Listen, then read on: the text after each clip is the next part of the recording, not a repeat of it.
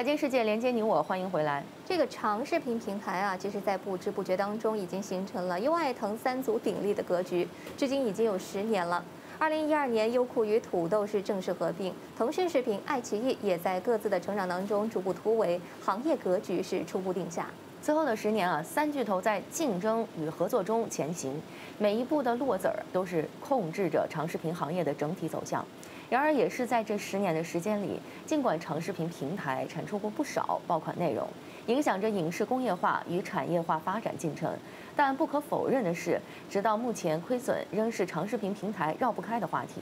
近期，因为短视频平台上电影《长津湖》相关内容、长短视频之间关于版权、市场等问题，又引发了不少的讨论。那么，短视频方面就此明确回应啊，相关内容实际上是长津湖制片方博纳影业与抖音官方宣传合作的一部分。相关视频的总长度不到六分钟，素材呢是来自于电影宣传片以及相关历史资料。此前就有媒体所传出长达半小时的调切是失实的。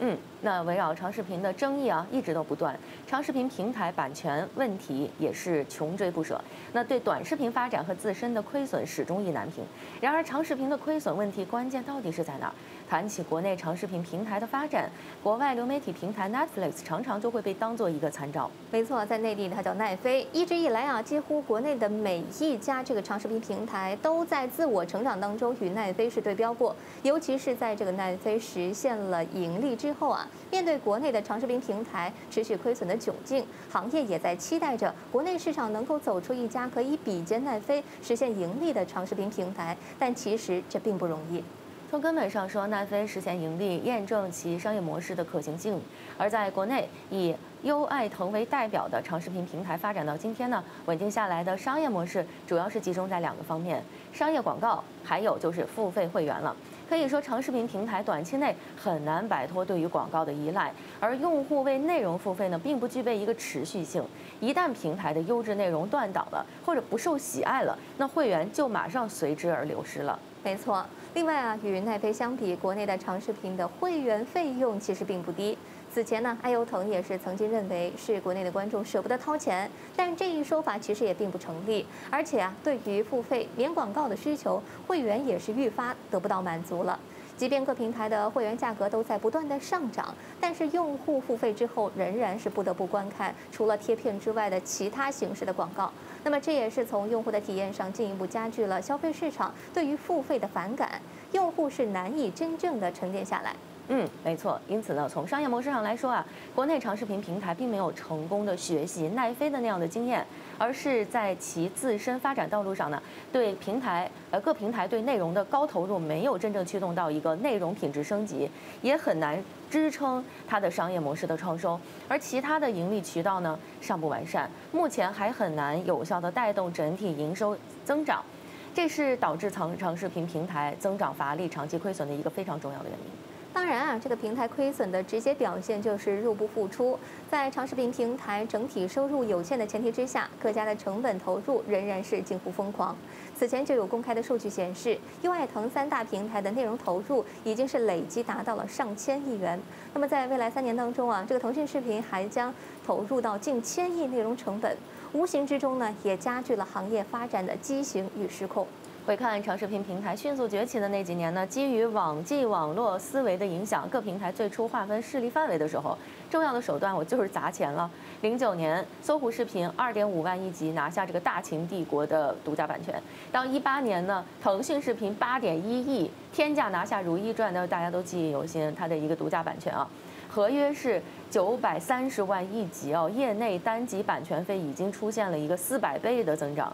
太夸张了。嗯，不过这个增强版权内容啊，也并不能够满足于长视频平台内容池的需求。加之高企的版权价格，也是让越来越多的平台开始着力布局自制内容了。但是长视频平台最初并没有内容创作的一个经验，在逐步的探索过程当中，为了更高效的推进项目，平台也尝试给内容分级，而评级标准是着眼于 IP 大小、艺人流量等等这些维度。那么潜移默化当中，也是催生了影响行业至今的大 IP 加流量艺人的创作模式。在这个过程里啊，长视频平台也在加速的构建自身的产业链。从资本深度影响内容创作到平台多元渠道向影视宣发渗透，逐渐形成了长视频平台对影视行业生产、制作、宣发全流程的控制权和议价权，甚至导致整个影视行业的投产逻辑倒挂。嗯，当然啊，从这个商业回报上来说的话，如果这种模式确实是产出过不少的爆款，但是啊，对于内容品质的忽视也是决定着这种模式是难以长久的。而市场一时的验证，也在一段时间里面让平台是越发的迷信流量了，天价片酬是随之而起，但是内容品质却在加速滑坡，最终啊也是导致了长视频平台集体陷入了更加严峻的亏损局面。如今呢，面对愈发严重的亏损状态，一些长视频平台他们简单的就把自身的亏损问题啊就归结为短视频快速发展所带来的一个影响冲击，这显然不是那么客观。就算是这个长视频平台还没有解决亏损问题之前吧，短视频平台的兴起，它可能是让整个行业出现了新的变化。因为大规模的消费群体，它都跑向了短视频，用户看视频的习惯呢，也会随之被重塑。哎，没错，在这样一个过程当中呢，短视频也是重塑了影视内容的宣发和营销逻辑。长视频试图是靠垄断流量来打造所谓的头部明星、头部 IP 的状况，也是被短视频自带的流量逻辑所打破了。在短视频平台，观众有了更多的选择权，小众啊、冷门呐等等这些内容也都得到了机会。可以说，短视频的兴起真正带给行业的冲击，在于短视频平台在快速成长的过程中，也围绕自身集结创作能力和消费群体，逐渐构建起来了自己的一个产业链，已然开始打破长视频平台以自身流量闭环试图垄断的模式。短视频引发的这些变化，确实在一定程度上影响着长视频的发展脚步。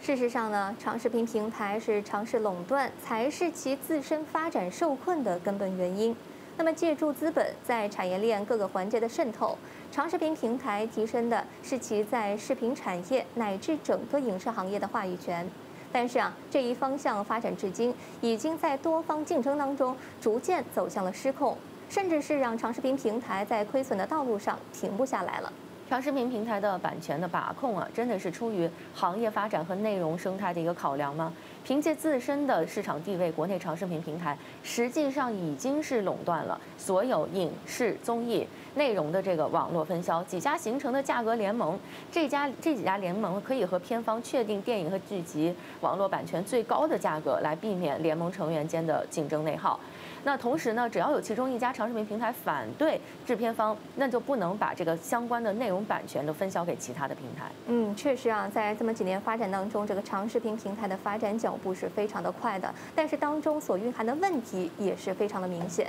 长视频平台和平台之间，长视频与其他版权方之间，以及和短视频平台之间，如何来真正处理好版权问题，可能是长视频以及内容行业发展都需要认真所思考的问题。嗯，那我们这一节时段的财经事件呢，也先跟大家聊到这儿了。感谢各位的收看，我们再会。